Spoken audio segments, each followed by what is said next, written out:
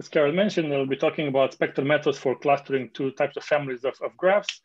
Um, sorry to those of you that have seen shorter version of this uh, talk earlier this year, but it was much shorter, maybe 15, 20 minutes. And uh, I've tried to also add a bit more uh, context and tell you a bit about the um, bigger picture and also some uh, with an eye towards uh, future application that we are considering or will consider in the near future. So I think these two families of graphs signed in directors have been relatively uh, unexplored in the last uh, decade or so in the networks literature. So I'm going to structure the talk in two ways. I'm going to talk a bit about uh, signed graphs and then about directed graphs. And then I'll say a little bit about applications to uh, ranking and also dis discuss some uh, broader themes between these two problems in terms of finding the so-called planted structures in these types of graphs. So just a quick recap on, on clustering graphs. So the typical setting is we have an unsigned graph G with n vertices, and typically edges have positive weight associated with them in WIG that encodes some sort of similarity between the endpoints. And typically the similarity, for example, can be constructed via some Gaussian, some, some kernel of choice that is a function of the distance between xi and xj. So there can be nodes in the network, there can be streams, images, and so on. And the goal is to partition the node set V into clusters such that the intra-cluster edges have much higher weight than the inter-cluster uh, edges, right? So this uh, clustering problem has had tons of applications in many different uh, many different areas. and lots of people are working on this um, idea of, of, clustering from different angles, spectral methods, semi-definite programming, and so on. So one fundamental concept that we're going to need throughout the talk is that of a graph cut. So if we have a, a, a, a graph G, a partition of it into two subgraphs A and B, is denoted as a cut and will be given by the sum of the weights of the edges that connect the two subgroups. So here you see an example where we uh, split uh, G into A and B, and the cut is just uh, the sum of the total weights of the edges that flow from A to B. And this notion of a cut has been a fundamental concept in, in graph clustering, has been around for two, two decades now. And the goal here, we want to partition G into A, B in order to minimize the resulting cut, right?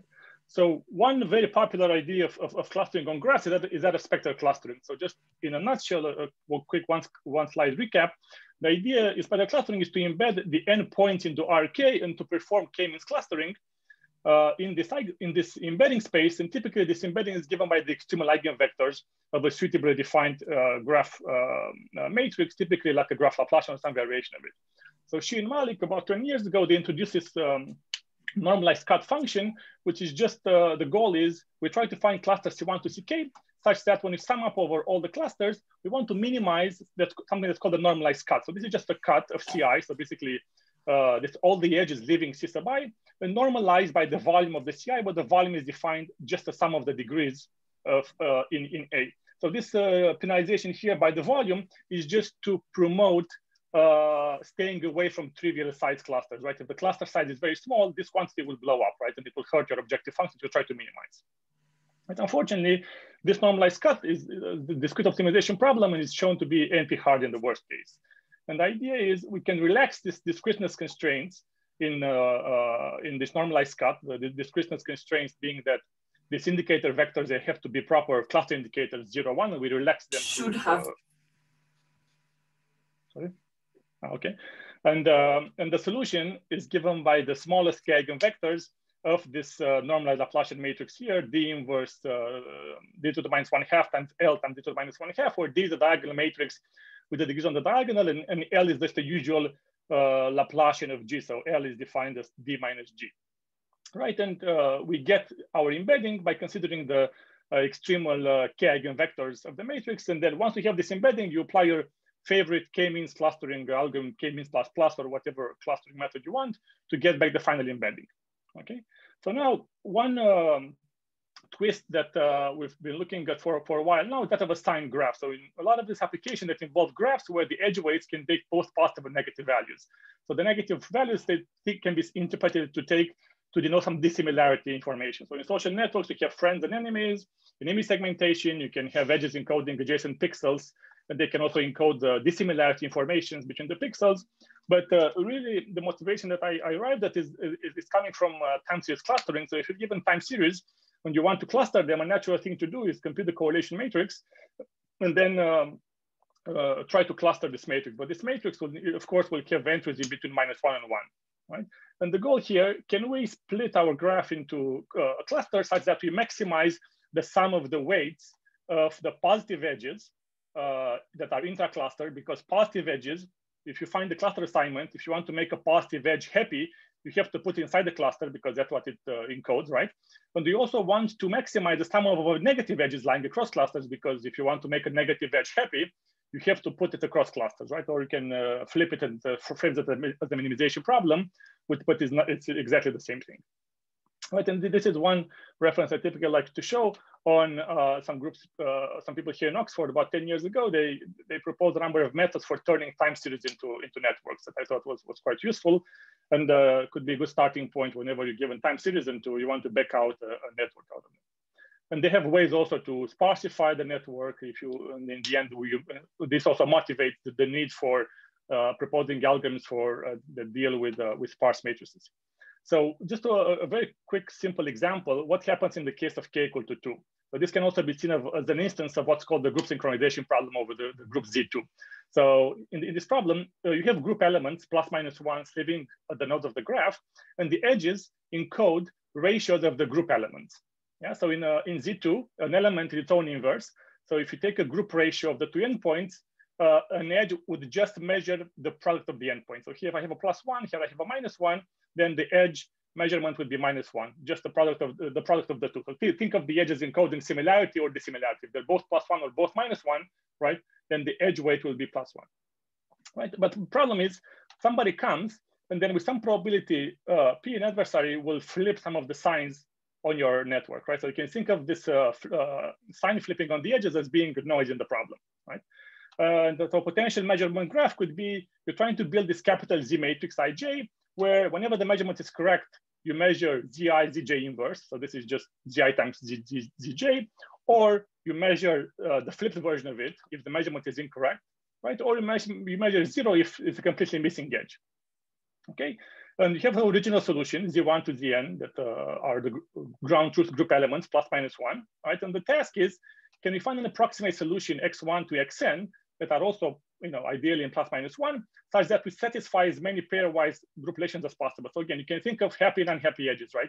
You give me the network, right? I don't see the node labels. I only see the edge labels. And I want to be able to find assignment of plus minus ones to maximize the number of happy edges, right?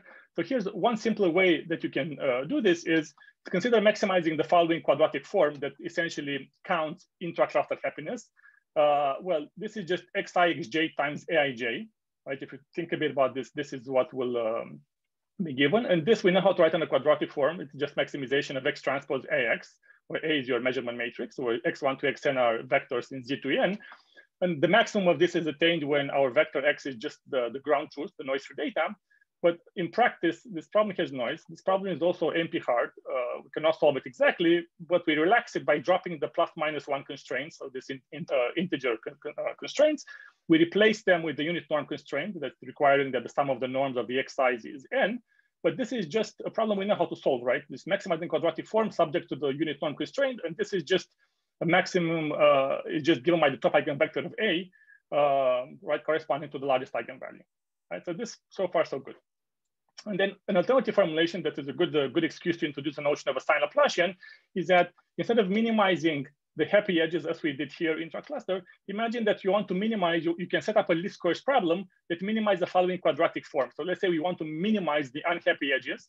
So this is xi minus aij times xj, just by the similar line of thought of happy and unhappy edges, this counts unhappiness. If you expand this term out, uh, you just get this. If you keep in mind that aij are plus minus ones, and you do a little bit of algebra here and you, you group the terms and so on, well, in a few extra steps, you, you, you can arrive, you can write this least squares problem as the minimization of a quadratic form where the matrix is just d bar minus a, where this d bar minus a has been defined in the literature as a signed graph Laplacian matrix, right? Where d bar is just the sum of the absolute values of the entries in A, because remember, A here is signed, it's both positive and negative entries, right? So um, there hasn't been much work in the last decade in this area of sign clustering. Perhaps one of the earliest ones is by Kunegis et al. And I think some of you may know Kunegis. I think he visited the Oxford Stats uh, some time ago, um, or maybe the math department, I, I don't know. Uh, but they had a paper uh, about, about 2000, uh, 10, where essentially that's what they did. They solved a signed, uh, signed version of this two-way ratio cut problem via this signed Laplacian. So d bar minus a, as I said, these are diagonal matrix with the degrees on the diagonal, uh, some of the absolute values. Uh, you can show without too difficulty that this L bar is also a positive semi-definite matrix. And then you can also define for this uh, sign case the normalized analogs that you have in the usual unsigned undirected case. So this is just a random walk, one just identity minus d bar inverse times a, or the symmetric graph Laplacian that has a similar form that has been shown to be suitable uh, for skew degree distribution. And then they argued uh, more, uh, you know, uh, qualitatively from the result they get that the top eigenvalues and eigenvectors of the sign Laplacian matrix has information about the structure of the network. Right? And maybe somewhat related to that is this uh, follow-up paper by uh, Inderjit Dhillon and his group at, at, Texas Austin, where they defined um, they uh, defined a similar objective function. So you start by defining uh, cluster indicator sets. So for a given cluster, your cluster T, for example, you define an indicator vector, just a column vector that has zeros and ones. And for the positions corresponding to nodes that contain cluster T, you place a one and you make a zero otherwise. Now, if you divide, if you uh, split your A matrix into A plus minus A minus, because that's how we, de we decompose it, then if you look at this quantity, D plus minus A, well, this is just uh, this quantity, right? Then D plus minus A is nothing but the Laplacian of the positive subgraph plus A minus, which is a negative subgraph, right? And you ask yourself, okay, if I were to write the quadratic form in terms of this, what do, does it count? So if I look at X transpose LX, well, it measures the total weight of positive edges across clusters. So it's, if it's not immediate, that it, you know, it um, takes a couple of slides to show that this uh, you can encode cuts into graphs uh, in terms of this quadratic form involving the Laplacian. So this X transpose L plus will measure the total weight of positive edges that flow uh, across, uh, you know, outside of a cluster. And then X plus, uh, and then X transpose A minus X. Well, again, this will only be uh, measuring the total weight of negative edges with, inside the cluster.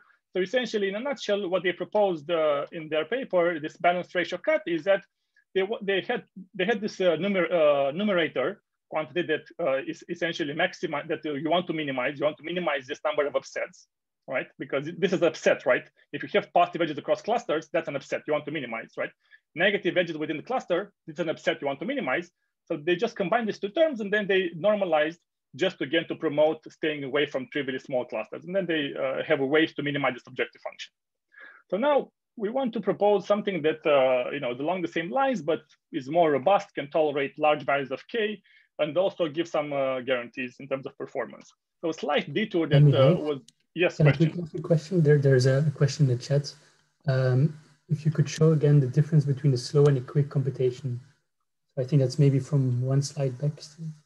Uh, this one. Um, uh, sorry, what is the question? Yeah, I missed it when it was just asked, but um, Maria asked it. Uh, I am trying to. Somehow I don't have the chat So I think that was from the quick one, but uh, it, it's fine now. Please, please go ahead because uh, I think it wasn't as important for the for the uh, flow of the talk. So that's good. But thanks. Okay. Um, yeah, I can discuss a bit at the end about these uh, aspects of, of uh, computations. Um, I mean, in a nutshell, the reason why people like spectral methods is that they're fast to compute, they're scalable. In particular, when the network is very sparse. So uh, all of this method I'm going to show you here either rely on computing eigenvectors or generalized eigenvectors of matrices. And we know from numerical analysis that if you have a modified version of the power, uh, if you have the power method, right, each iteration of the power method, you're essentially incurring a cost that is linear in the number of non-zero entries in the matrix, right? But our matrix is the adjacency matrix, right? Non-zeros in this matrix are just edges in the graph, right? So essentially, to compute a few eigenvectors of a matrix, right, you only require uh, a few iterations, each of which cost on the order of m, number of edges in the matrix, right, non-zeros. So in a lot of real world applications, some of which have millions or billions of nodes, right? N can be large, right? Millions or billions, but the number of edges is much, much smaller, right? It's, so these graphs are extremely sparse graphs where the degrees may be almost constant or you know, the order one over N or log N over N. So the idea is that these spectral methods people like them because they scale linearly in the number of edges. Right? So this is a general comment that I think will uh, apply to most spectral methods out there. Um, okay. Perfect. Uh, thank you. Okay, and um, right, so uh, moving forward, so just some intuition that led, led us to look at sign clustering uh, from what I'm about to tell is that this problem in machine learning is called constraint clustering, where people try to cluster graphs subject to some domain knowledge constraints. So in, in some applications, we have some side information that some pairs of nodes should or should not end up in the same cluster. So people in machine learning call them must link and cannot link constraints, right? So these are soft constraints, side information. So some years ago, we had this paper in AI Stats where we proposed a general diagram problem for problem of constrained clustering. In a nutshell, we took the similarity graph that has only positive entries, combined it, combined it with the must link constraint because they encode the same concept, right? Uh, values for a pair of nodes i and j for which s is high and they have a must link, it means they have to be close to, uh, uh, apart. We let our other subgraph encode the cannot link constraint, and then we solve the general diagram problem. Um, uh, we were able to solve it fast because both of these two matrices were Laplacians, and then we were able to get very good image segmentation results subject to constraints. So if you look in this last picture here, we segmented the image subject to the constraint that all in this in this sub bigger subpixel here, all pairs of pixels between, so any pair of green pixels um, were encoded as a must-link constraint, and any pair of pixels coming from different patches that had different colors, they were cannot link constraints. Right?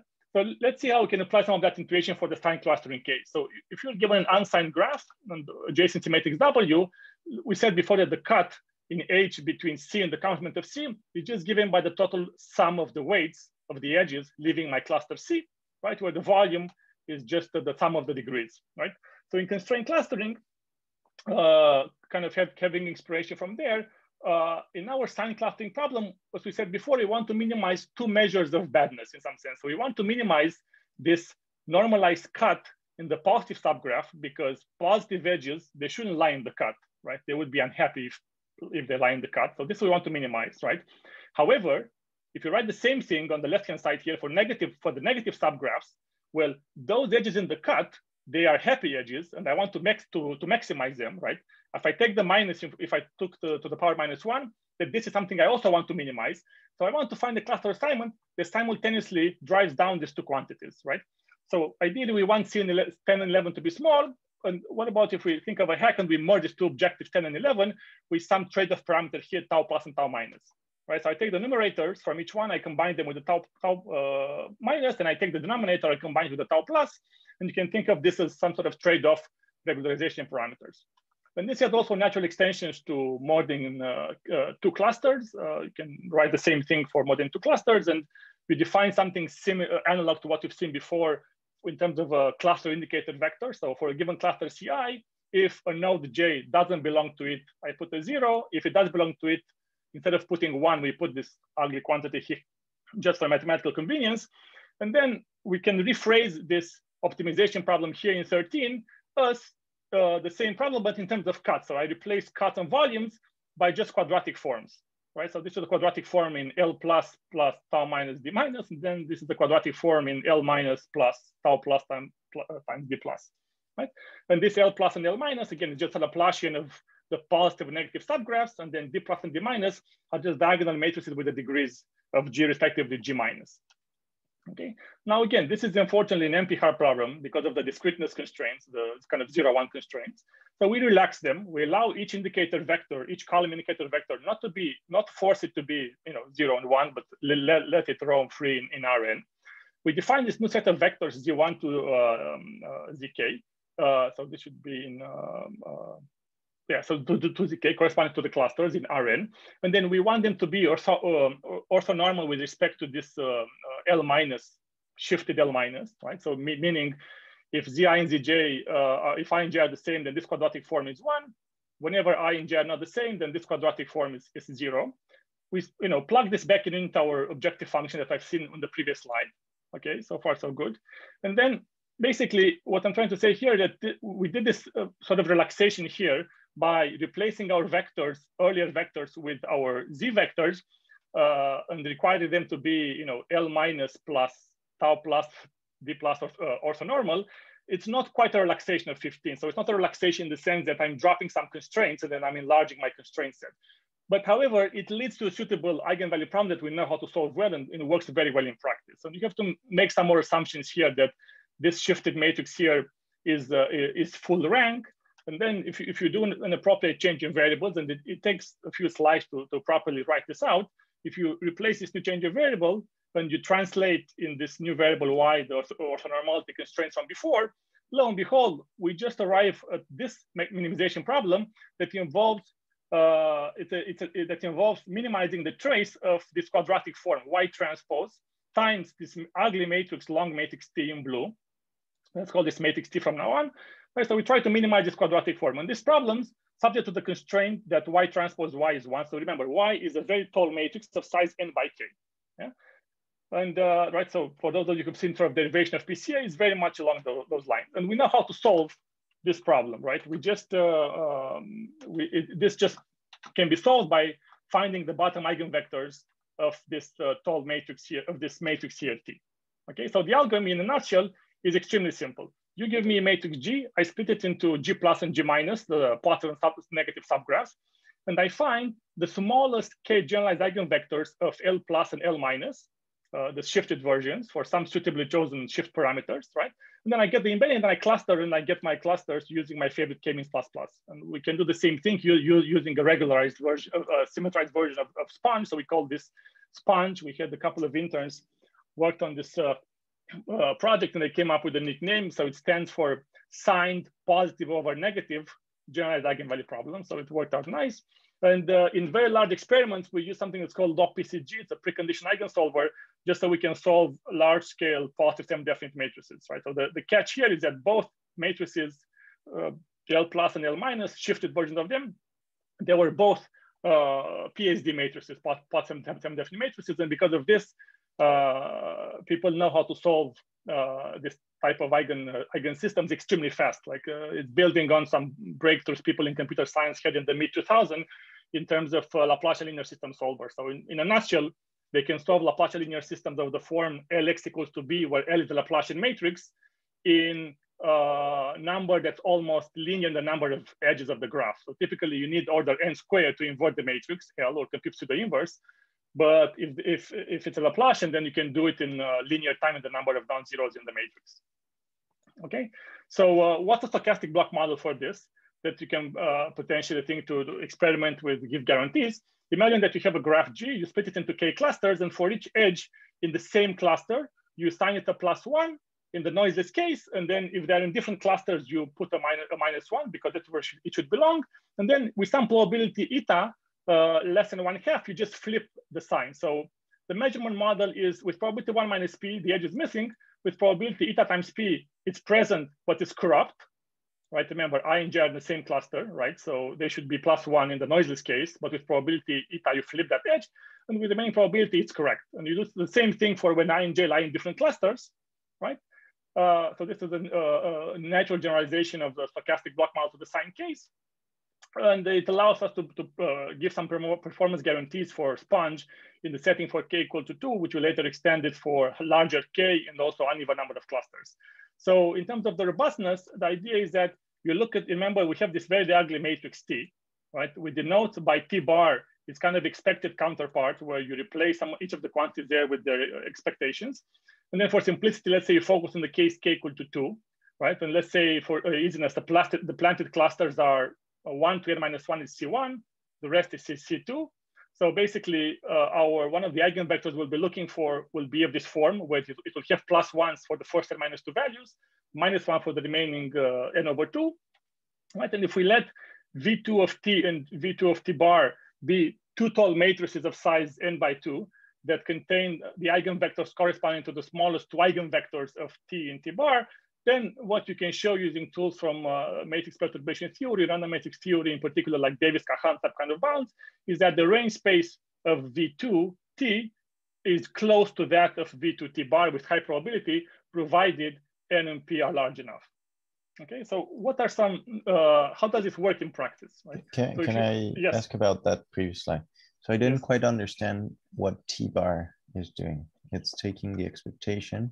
T bar, think of it as it's taking the uh, member-wise expectation of each entry here, of each matrix in here, because you know we have a probabilistic model yes. for A, right? Mm -hmm, mm -hmm. And you can write down similar probabilistic model for D, and for D minus, and for D plus, and for L okay. plus, and for L minus.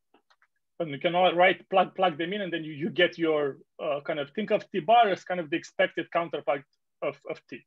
Okay, and the result regarding T and T bar is the range yeah, is that the column space of these two tall matrices, so V2 is the top two eigenvectors of T, the ground truth matrix, right? Mm -hmm. All right, and the same thing for the top two eigenvectors of T bar is that these two eigenspaces align well, provided N and P are large enough. So if we have enough edges and N is large enough and the noise level is not too large, then the range space of this two of, of T will be the same thing as that of T bar.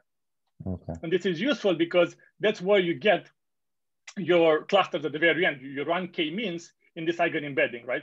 So mm -hmm. of course you, you, get top to orthogonal transformation, but you don't care if you run k-means on on an embedding. If it's uh, you know randomly rotated, k-means will give you the same result, right? Mm -hmm. uh, okay. okay. So how does this work in practice, right? So if you put a, a stochastic block model with five clusters and very sparse probability, let's say 0.1%, so you compare a bunch of methods. So the recovery score here is the, what we call the RAND index. So the higher, the better, right? So if you, uh, right, so here on the x-axis, I vary the flip probability, the noise level versus the recovery score.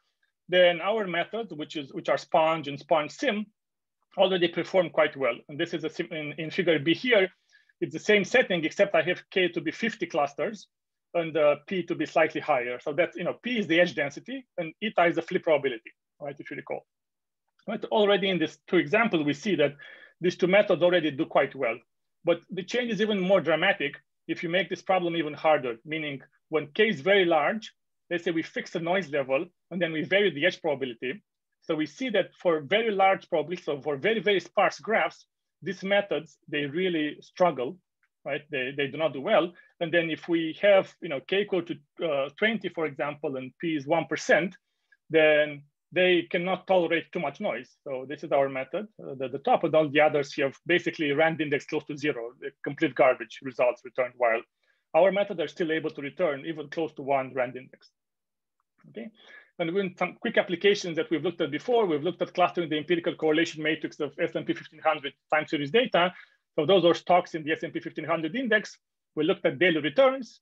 We built a correlation matrix over 15, 20 year period we looked at the bottom 10 eigenvectors of the of the Laplacian, but in this case, just just L bar, the standard sign Laplacian, and and, and um, you know when we ran uh, k means into this uh, embedding, and then we can see here that the way you read this chart is that on the x-axis, these are very known, these are well-known sector membership of the stocks, and then the columns are the different clusters that we received, that we recovered, right? So you can see here uh, how well the, our recovered clusters align with this known market sector. So you see energy is all concentrated into cluster number six, right? And then, uh, you know, utilities also is in number number five concentrated, but some other, uh, um, you know, sectors are very well, are pretty much spread out across the cluster that we recovered. Right? And then one advantage of our method compared to the others is that they cannot tolerate very large number of clusters. So if you try, so this is our, our two methods, right? And this was uh, BNC and LSIM. Well, uh, the top is k equal to 10, at the bottom is 30 clusters like BNC for 30 clusters is not going to give you anything meaningful. So just give you two clusters uh, that are reasonable size, and one cluster that gets completely huge. It just takes over. Everything. This is doesn't really capture. While our two methods, they really are capture the structure. So, so here in these heat maps, blue means plus one, positive correlation, and red means negative one, like close to negative one, right? So these are, I'm just reshuffling here, showing you heat maps of reordered correlation matrices. Okay, uh, so in terms of regularization, so um, in the usual unsigned case, it was noticed that if you do regularization, uh, it will help improve the performance of your method. So, uh, so what I mean is that in the very sparse regime, so think of the sparse regime where P, the probability of an edge is on the order theta one over n. So it's on the order one over n. So well below the log n over n that we're used to. So this is what people refer to as the sparse regime.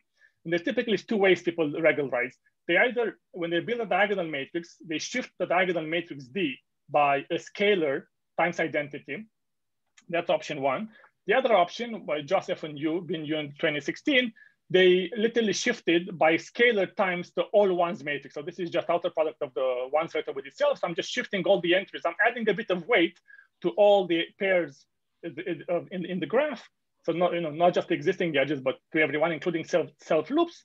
So if you sort of translate this to the sign case, well, you can imagine that just as we decomposed earlier A into A plus and A minus, then we can um, propose regularized version for A plus and A minus. So we regularized A plus like that, we regularized A minus like that, and then we proceed business as usual by defining, for example, our uh, symmetric sign Laplacian that we've seen earlier, but instead of using A, we're gonna use uh, A tau, which is just the sum of this two A plus and A minuses. All right, so these are you know the regularized version counterparts of what we have seen earlier, right? And you can do the same thing for the sponge algorithm, but it, it takes a bit more to, uh, to, to flesh out. But what, what are the benefits? If we look empirically, what are the benefits of doing this? So remember, tau plus and tau minus are our regularization parameter, tau plus and tau minus, right? Okay, so here is a heat map varying tau plus and tau minus, and then showing the adjusted rand index recovery score uh, in the case of a stochastic block model with 5,000 nodes and five clusters. So you can see here that for properly, you know, properly chosen tau plus and tau minus, and again, this, these parameters have to be tuned, then you do get uh, increase in performance, right? So you can get error, it's quite a broad range, right? So you can go from, you know, close to nothing recovery or 0.1 to all the way to 0.5 and 0.6 in terms of rand index. So clearly this regularization um, uh, helps quite a bit. Now, an additional extension that we've we've thought of recently is that is this idea of polarization in sign graphs. So there's been some works in the literature very recently that have looked for uh, this phenomenon of polarization in signed networks. So the idea there is that you know you want to find subgraphs built uh, planted in a much bigger graph where the population can be separated very well into two antagonistic subgroups, and they claim this is important because it's uh, you know you have to identify these communities. They're harmful to the democratization process and, and so on. So what would that mean in, in our setting is that, so here I'm showing just a standard SBM model, no noise, little noise, a lot of noise, right? In the plug, uh, in the main diagonal, I have plus ones. That's where the plus one should belong within clusters. The cross is minus one, right? And those are just different levels of noise of uh, heat maps of the adjacency matrix. But then if you're doing a, uh, in, a, in a polarized model, essentially each community it's an SSBM. It's a signed stochastic block model with k equal to two because I just have two communities in each. In each community, I have two subclusters, right, uh, left and right, if, if you think, and then you're chaining them into a big network, and then this can be seen as a, as a polarized model for SSBM, right? But uh, right, so this is what I said earlier. But in practice, what I think it would be important to be able to design methods to, to handle is this idea of a planted polarized SSBM, where this planted cluster that you're looking for are only a very small portion of the ambient graph, right? So here we have these four cluster, four communities that are polarized, that are planted, and then the rest of the graph is completely noise, right? So there's a difference here be between the standard SSBM and the polarized one, because here off diagonal entries still have signal in them. They're mostly minus ones, while here off the block diagonals is garbage. We cannot say anything, right? And um, so maybe in the in the last uh, the second half or maybe 25 minutes 20 minutes or so uh, i'll try to say a little bit about uh, clustering in directed networks so one motivation for this was coming from again lead lag in, in time series examples and if i have time later on i'll discuss but another one was coming from finding anomalies in transaction networks so imagine that you have a big network and people are wiring money uh, to, to each other and imagine that you have some sort of drug cartel that uh, sending money to each other and you'd like to find a structure such that the low level nodes here, one, two, three, four, send most a lot of, of, of payments to nodes five and six. Then five and six, they, yes, question? It's, um, it's not on to Okay, yeah, maybe just background noise. Right, so uh, so the way you read this plot is uh, uh, black arrows, they denote transactions that are outside of the structure we're looking for, and green transactions are the, the structure we, we are looking for. In other words, if I take node, let's say one and six, the way you read this is there's, if I look at the payments between one and six, then 90% of them flow from one to six and only 10% the other way around. Right? So think, think, think of whenever you see a pair uh, of uh, uh, green and black, green says the majority of the flow goes from one to six, and the minority goes the other way around, right? And if we're given a network like this, ideally, we like to, to find these nodes here that are part of this scheme, right? And of course, these people may also transact money, small amounts to each other. So it's not like this green structure will be visible only from looking at the support of the graph, meaning edge is present or missing. Like, so we, we cannot extract this underlying cluster just based on density alone, right? You have to look, take direction into account, right? And of course, they will send money to each other, but most importantly, they will all, all the players, all these market participants in this cartel, they will also send trade money. They will also send and receive from the rest of the world from, from payments, right? So the goal is, can we uncover this? And the problem yeah, the, the goal is can we uncover the structure in this much bigger ambient planted graph? And the problem is that typically the ambient graph, the rest of the wall graph, is much, much bigger than the structure that we're looking for. Okay, so this was part of the motivation. So if, if we go look at uh, directed graphs for a little bit, some challenges that arise when handling these directed graphs are the fact that the usual normalized cut values, similar to what we've seen earlier based on edge density, they will not work. They'll just simply fail to uncover some of the underlying patterns that we're looking for.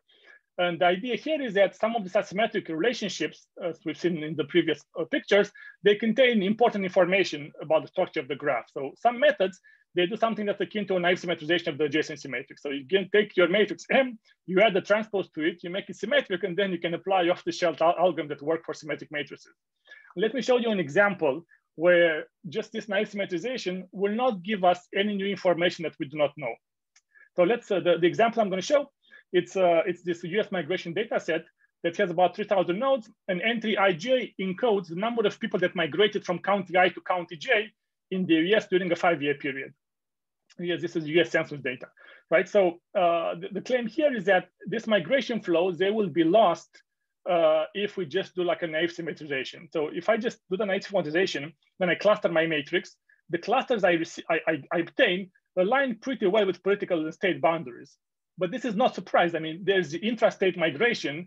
That's the main, you know, driving component of the process, and there's very little, you know, intra interstate migration, right? However, if we do the argument that I will uh, show you in a little bit in terms of this uh, Hermitian clustering, the clustering structure look, look, looks like this. Yeah. But what is most important is that if, let's say I recovered K clusters, so I have K choose two pairs of clusters.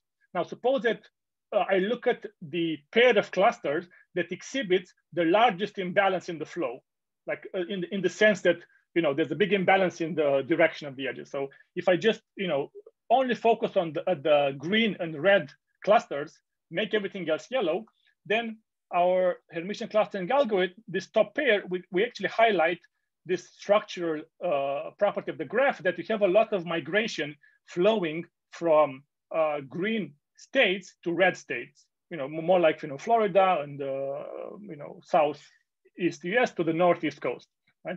And this type of structure is what we are, are, are after. So what's the algorithm? Well, the algorithm is embarrassingly simple. You give me a matrix M. If it's not skew symmetric, meaning if you allow to have flows from I to J and also from J to I, then I just take the net difference, right? To just uh, have a single edge.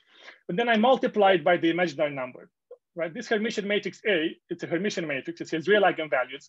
And what we could show is that whenever the direction of the edges uh, induce a certain cluster structure on the graph, and I'll show uh, directed stochastic block model in, in, in, a bit, then this structure is, is roughly encoded in the eigenvectors of the extremal eigenvectors of this matrix A. And in, in particularly, uh, if you look at the pairs of clusters that come out of your clustering algorithm, uh, then they will exhibit a large imbalance in terms of the flow. Right? So you can argue that this type of Hermitian clustering algorithms uncover what are called these days like higher order structure between the clusters. So we move beyond pairwise interactions between nodes and we're able to extract uh, interactions between, uh, be between clusters. So what's a natural directed stochastic block model in this setting? Well, we have K clusters or communities, potentially of different size. We have a probability P of an edge existing between two vertices in the same cluster and Q of edges existing between two vertices in different clusters. But to make the problem in the hardest scenario, we want to set P equal to Q in the setting because remember, we don't want to cheat. If P is much different than Q, I can just throw away the directions on the edges and I run your favorite community text detection clustering algorithm, you'll find it, right? And the catch here, the important comp component is that there's an underlying matrix F, a size K by K, that encodes the orientation of the edges between the clusters. So let's say uh, Fi, FLJ plus FJL should sum up to one, right? So I want 80%, you know, most 80% of the flow to flow from cluster one to cluster two, and then only 20% the other way around. So this ensemble here, um, we denoted by this, uh, this model here. And then you can think of this matrix F as representing the meta graph that describe the relations be between the clusters. So what is a concrete example? Well, let's say we have K equal to three clusters, C1, C2, C3, and the meta flow matrix is the following. Within each cluster on the diagonal, edges are oriented at random. So, you know, if you give me pair ij in the same cluster, 50% i flows to j, 50% j flows to i, no structure. But if you give me uh, two nodes i and j from two different clusters, from C1 and C2, then 25% of the edges will flow from cluster one to cluster two, and 75% from cluster two to cluster one. So this imbalance here, that it is captured, captured in this metagraph. So the metagraph here is basically this, uh, this cycle here. And this is a good example because um, in expectation, all the vertices in our graph G, they have the same in and out degree. So there's no sort of cheating that you can do and just cluster or, find the clusters based on in out degree. Okay. And uh, so what's the algorithm, right? So we, we're building this Hermitian matrix A. Uh, we may choose to normalize it in the spirit of uh, previous normalized uh, Laplacians in the in the literature in the in the unsigned signed case. We compute the top eigenvalues and eigenvectors of this matrix, and then we apply k-means to the resulting eigenembedding, and then that's how we get the clusters. And uh, what we could show is that for you know very large for general uh, metagraph matrix, we're able to upper bound the number of misclassified vertices. So basically, if you run k-means, you get back your solution, and uh, basically this gives us the number of vertices that we have misclassified. So think of uh, you know the error that we make in our clustering techniques. And, and again, this is again based on the fact that the eigenspaces of this A matrix, the ground truth one and the one that we see in the real data are not too different apart, right? And then you can use some off-the-shelf techniques to, uh, to take that as, as input and then uh, plug into a k-means uh, pipeline and then uh, get back this misclustering rate. Okay, now what's some intuition? Why, why does this work so particularly well, as you will see? Well, previous spectral methods that either let have symmetrized the matrix. So this is another way to symmetrize the matrix. You can look at M transpose M or MM transpose, right? To make a symmetric matrix. But essentially what this count, they count number of parents, children, and, and com, uh, sorry, common parents and common children, or both, right? That's what other methods have done. But if you think of this matrix that we're proposing, if you actually look, consider it square, because A and A square, we have the same eigenvectors, and uh, it's easier to interpret. If you write it down, then this A square, what exactly it will count, it will count the number of common parents and common children minus the number of mismatch relationships. So like three people, so, you know, uh, you know, Carol is a mismatch with respect to me and Rodrigo, if, for example, I point to Carol and Carol points to Rodrigo, if you think of this directed graph in terms of matches, right? If I'm beaten by Carol, then Carol is beaten by Rodrigo, right? So there's no commonality in terms of the pattern of people we beat or, or you know, win or lose to. Okay, so in some sense, this A matrix implicitly keeps track of both common parents and common children, and also without the need to without the need to perform this expensive matrix operation like these other methods uh, do. And then you can also take this uh, uh, Hermitian matrices and then you can normalize them. So you can do like D inverse A, which looks very similar to the normalized uh, Laplacian we've seen earlier, or you can uh, build a symmetrized version of it. And then if you were to look at some of the eigen, some of the spectra of these matrices, Herm random walk or Herm sim, this is what it would look like. For this, this is like a, the underlying meta graph is just a cycle, a C4. And then if you look at the uh, eigenvalues of uh, these uh, Hermitian matrices, you'll see the bulk of the eigenvalues, and then you're to see uh, four large eigenvalues popping outside of the semicircle. And then you see the same thing if you have a, a complete metagraph. So we take this, you know, the embedding in the nutshell is given by the eigenvectors corresponding to this bottom two and largest two uh, eigenvalues.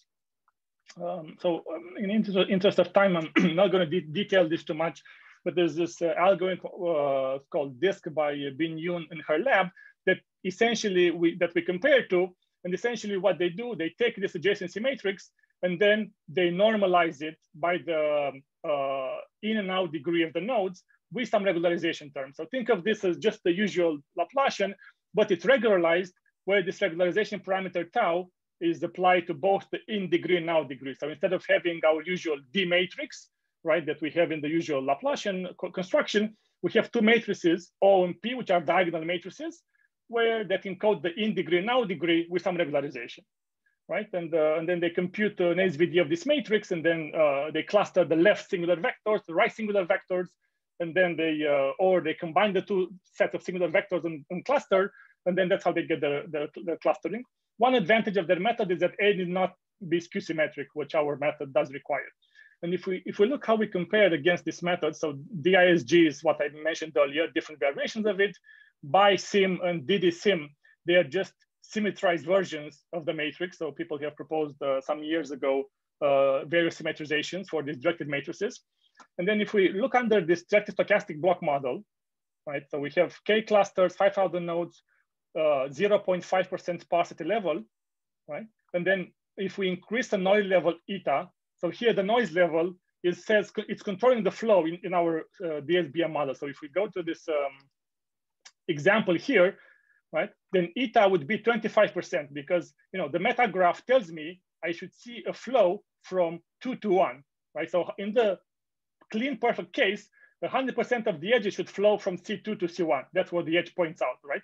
But in practice, in, in this uh, stochastic block model, instead of putting one here, we put 0.75 to take one minus eta, right? So eta here is 0.25. So you can think of eta as the noise level, right? So of course, eta is zero, it's, it's ideal.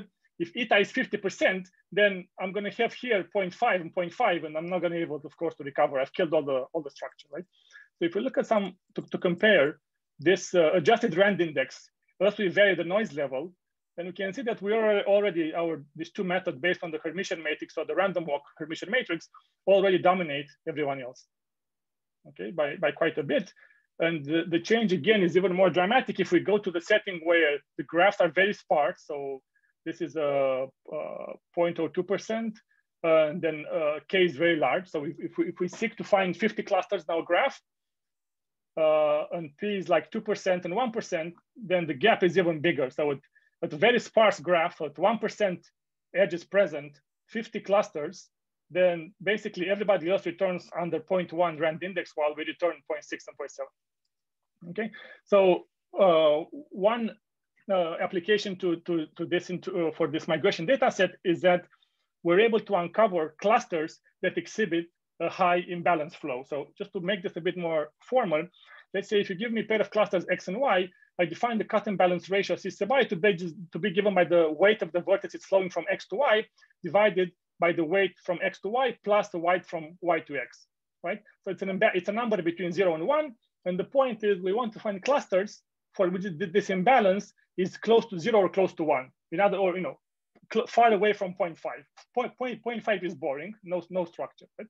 And then if you recall on the second or third slide when we, I reminded about the 20-year-old normalized cut uh, from spectral clustering, they are also doing some penalization there. Remember, you had the cut divided by the volume, right? In this setting here, to penalize for uh, small clusters, we want to, let's say we take our cluster imbalance, we want to be far away from 0.5, yeah? And we also penalize by either the size of the, the two clusters or by the minimum of the volume of the two clusters, where the volume of a cluster is just the so total sum of the in and out degrees. The only point for these two normalizations is just to stay away from trivially sized clusters, right? Because they're not, not really insightful for us. So if we go back to this US migration data set, uh, this method uh, that we're compared against he was able to, let's say, we focus onto, onto the top largest uh, imbalance pair. So they find many clusters. We find the pair of the class. Fi we find the pair of clusters for which they exhibit the highest imbalance. So that's 16%. Yeah, so 60% of the edges flow from, uh, I think here is from uh, red to blue and 84% the other way around. While if we look at our two methods, then you know the flow is like 8% one way and 92% the other way. And then for this random walk Hermitian is 90% one way and 81 the other way. But the, the improvement is much bigger if we start taking into account these penalizations. So if we penalize by the minimum of the sizes of the clusters or the volumes, because you can see here, this red cluster in here is not very, it's very small and very spread out. It's not very insightful. We don't, we want to stay away from small clusters. Then if you look at the objective functions where you penalize by either the size or the volume, so the size is on the left, the volume is on the right, then these numbers here in the purple rectangles are much higher than what these other methods are, uh, re are recovering. So um, I don't think I'm going to have time to, to um, discuss an application of this to ranking, but I'll just um, maybe give a bit of intuition. Uh, in the, so I have about five, five minutes. Yeah, five okay. minutes. Or, okay, right. So, so in, right. So in, in, in ranking, I'll just say how this relates to ranking, right? So typically in ranking problems, uh, what is the goal? We're given data with that uh, match outcomes, you know, pe people playing games and you have uh, ordinal comparisons, player I beats player J, or you have the score of the match. And the goal is, can we find a partial ranking, ranking of the end players that best agrees with the given data? And this best can be quantified in terms of the number of upsets, right? If Manchester United plays Chelsea and beats Chelsea in the direct match, but in the final ranking, Chelsea is ranked higher than Manchester, that's an upset, right? And the goal is you give me the, uh, uh, uh, um, match matrix, which can be encoded as a directed graph, by the way, as we've talked earlier. And the goal is I want to give you an ordering of the players, an ordering of the of the players that uh, minimize the number of upsets. Right. So you can think of the simplest probabilistic model is that you have R1 to Rn, which are like ground truth rankings or strength of the players, and the measurement that you see available is just a proxy for the strength difference Ri minus Rj right? And in a lot of real applications, our measurement matrix is very incomplete, especially like n in large. Not everyone plays with everyone. And it's also very noisy and inconsistent. So, you know, if you have that a tournament, you can be that A beats B, B beats C, and C beats A, but uh, right, so you're gonna you're gonna have this inconsistency no, no matter what. So a simple model that one can consider is, you know, with some probability you have a missing edge. With some probability you actually you have a correct edge, meaning you really measure Ri minus Rj, you know, the difference in the skill set. And then with some remaining noise probability, you just have some complete measurement. Uh, it's a complete garbage uh, measurement that is completely not, uh, not informative. Okay, so in ranking problems, the input is a directed graph, and I want to find a one-dimensional ordering of the players that best agrees with the given data. So I think some of the method that we discussed, so uh, I'm not going to um, talk too much about this uh, ranking because there's, there's, not much time, but I can, there's one paper, if you like to, to, to re, um, learn more about ranking in networks, this paper by Caterina De Bacco and all from a couple years ago where they compare about 10 methods, including uh, SyncRank, a method I've worked on a couple, uh, some time ago. And, um, and they also have implementations in Python, MATLAB, in R, so it's quite a really insightful uh, re, uh, resource. So now back to the, and I'll like, like I'll finish, um, so I'm not gonna have time. So I'll, I'll, just finish with why is this, uh, why is it useful to uncover this um, clusters in, the, in directed graphs? So first of all, it, it can well be the case that uh, you can exploit this for time series problems. So in many applications, you, the data given as input is time series data. And this time series they are they exhibit lead lag relationships, right? So you can choose your favorite lead lag measure, right? And then you can, for every pair of time series, so you have a graph on n nodes corresponding to n time series that could be financial stocks, for example. And entry ij is a directed edge from i to j if i leads or lags time series j. And you can, you're free to choose your whatever measure of lead lag depends on that we've used and with some ongoing work with exploring various options here. But the point is you start as input as time series and you build a directed graph where entry ij is a proxy for whether i leads or lags time series j, right? And then what can you do with it, right? So in a lot of these applications, um, when you you know when you talk to people who are not outside of networks, you you know you tell them about clustering community detection, but you very often I've got the question, you know, the so what question. So you okay, you find these communities and clusters, like what can you do with them? So I, I think as a community, it'd be good if there'll be more and more problems taking this uh, application one step further, finding clusters, finding communities, and then exploiting them, leveraging that uncovered structure for some concrete task, like a prediction task or classification and so on. So for example, if you're given, you know, if you if you given time series and you construct a directed network, if you have a ranking algorithm that can uncover the network, that, that can, um, so you build a directed network, you run your favorite ranking algorithm, you can sort the time series from most leading to the most lagging, right? And you can make a prediction out of it by saying, okay, I'm going to uh, cluster my uh, graph into leaders and laggards, and I'm, I'm going to make a prediction that the laggers will catch up to the lead, lead leaders tomorrow. So that's one potential variant. Another one is that it's very unlikely for, uh, you know, if you look at the S&P 500 market, it's very unlikely that there exists a very single global ordering of the stock market into one, and I can globally sort all the stocks in the market from most leading to most lagging. What's not naturally to happen is that there exist clusters such that within each cluster, I can sort from lead to lag within uh, with higher accuracy. So kind of a stochastic block model would be I have three clusters. Within each cluster, whenever I measure my RM minus RJ scale offset, I add some noise eta one. And then whenever I compare two players from different clusters, then I add some noise eta two, with eta two being much, much bigger than eta one. Right? So the goal is if I give you an instance of this type of stochastic block model for ranking, can you uncover the, the, the, the, the cluster? So it's not just doing clustering, right? Because there's no edge density differences here. So it's you have to simultaneously do clustering and, and ranking. Maybe I'll, I'll end with, um, you know, what can this uh, sort of Hermitian-based clustering uncover? So if you, if you give us, if you give me a directed graph, then by, by uh, running this type of analysis, we can decompose the big graph into, into clusters such that like in here, maybe cluster one uh, leads cluster two, and then cluster two leads cluster three. So this is a connected component of its own. Maybe I have another separate component where uh, I have cluster eight leading seven, and nine leading seven, and seven lead six. So I'm able to uncover these you know, clusters of lead lag relationships. And the problem is that most often these clusters are planted in a much, much bigger ambient graph.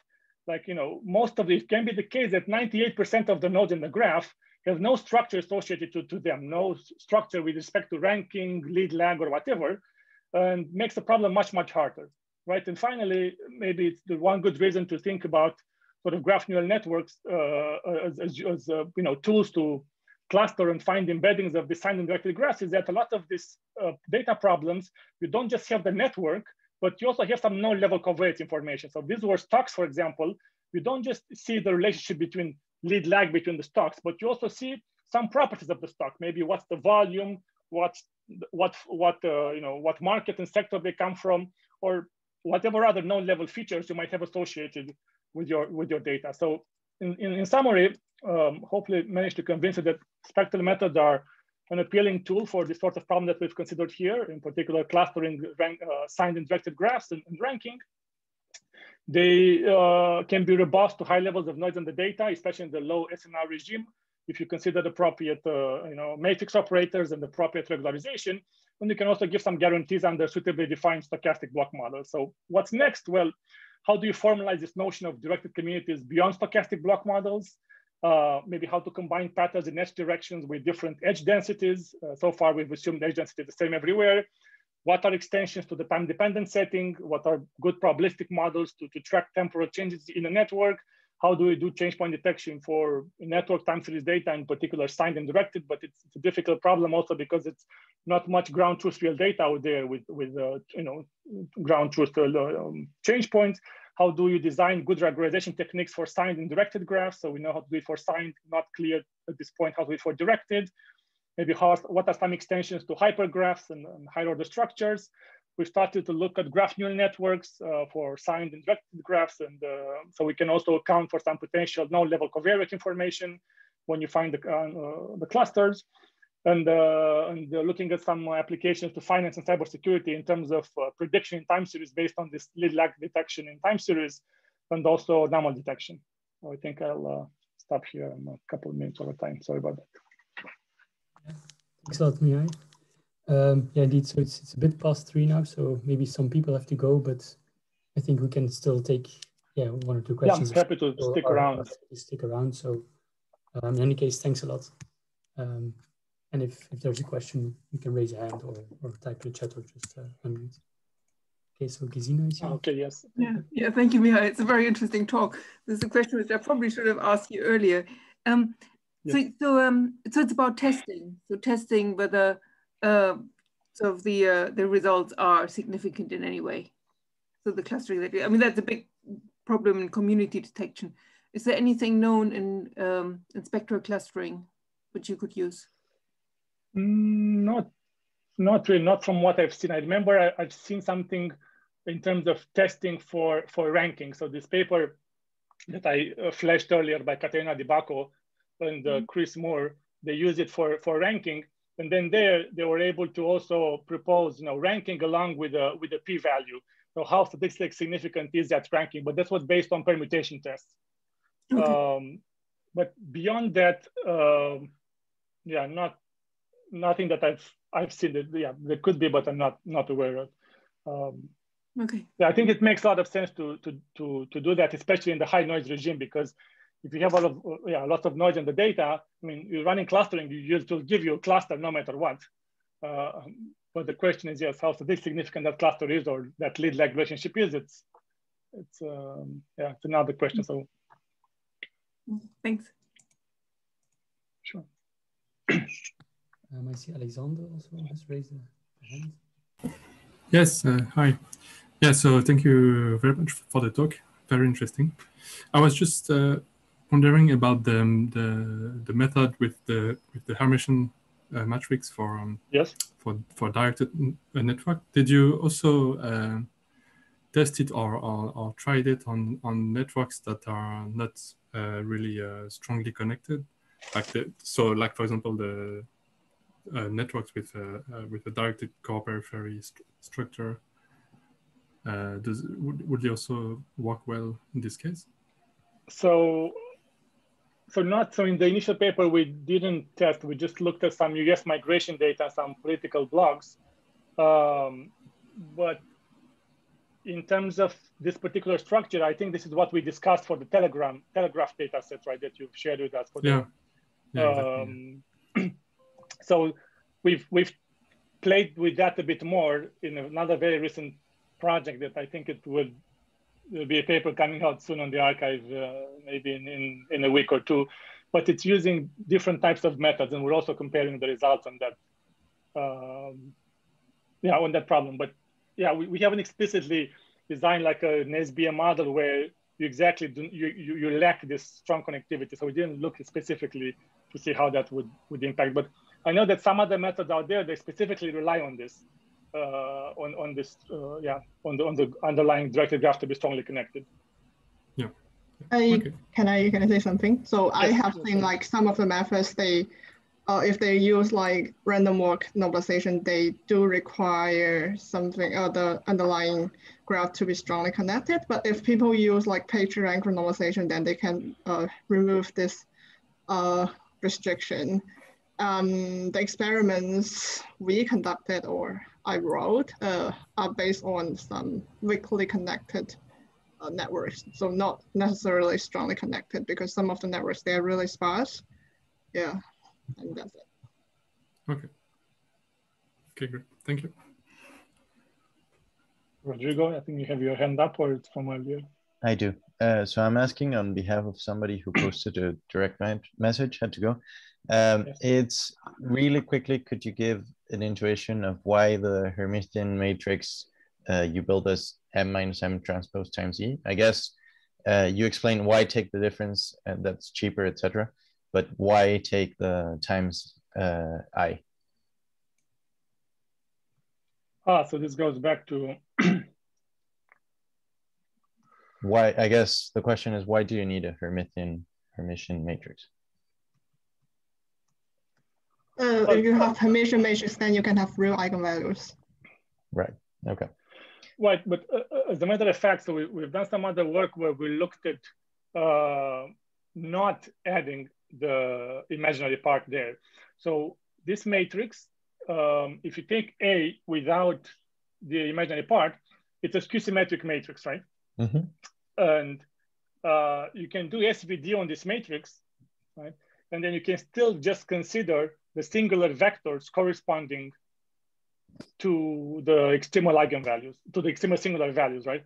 It's mm -hmm. actually even, in principle, it has the advantage that you can just, you, you may not, so, uh, I mean, the, the graph may not necessarily even be skew symmetric and you can do an SVD on it, right?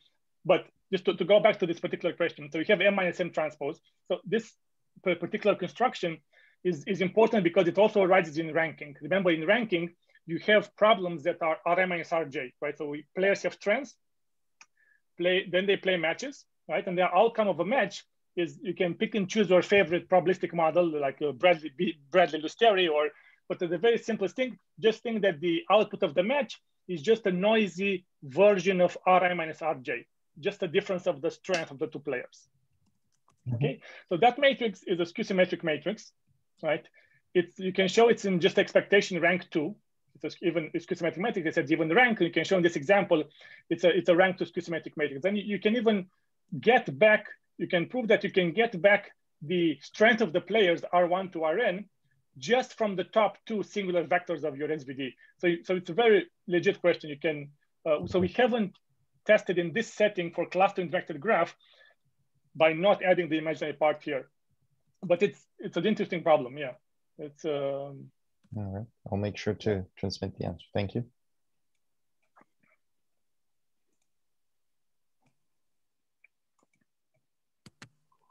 Okay. That was it, end of questions. Um, so thanks again a lot, uh, Mihai. It's always cool to see yes. how useful uh, these spectral methods are. Um, yes, thanks a lot again for the invitation. And then if you have any other questions, feel free to write and send me an email and yeah, yeah. happy to discuss. Or if you have ideas of how to solve some of the problems I mentioned at the end, mm -hmm. I'm happy to discuss. Yeah. Yeah, that's when it gets interesting, right? Like when you have a very big graph and then somewhere it's hiding. It's yeah, I, I think the challenging problem is, is this one here. You have a much yeah. bigger graph. There's an ambient cluster that dominates the graph. And then yeah. you have these pockets of structures in different corners of the graph. But again, the structure here, that's the key. The structure here is not coming from edge density.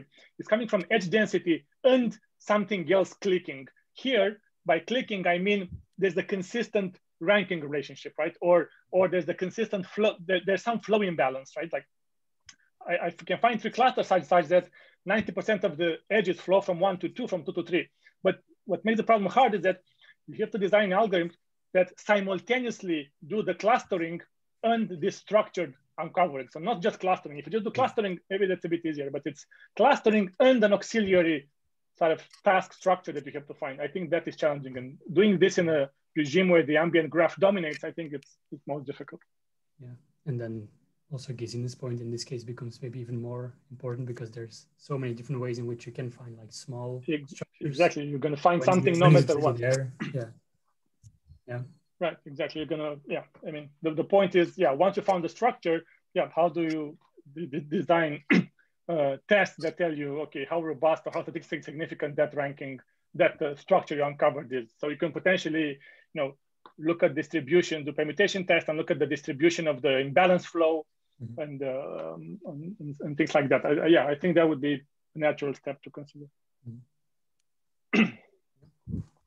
okay, um, so I guess this uh, then we can say see you next week everyone. okay. Uh, I'll do a shameless plug because uh, Caterina De Bacco just uh, as today confirmed that she'll be the speaker for next week. It wasn't it wasn't confirmed, so we'll be hearing from her next week. Okay. Okay. Nice. Okay. See you all. Bye. Okay. Thanks a lot. See you all. Bye -bye. Thank you, Mihai. See you. Bye bye. Bye bye.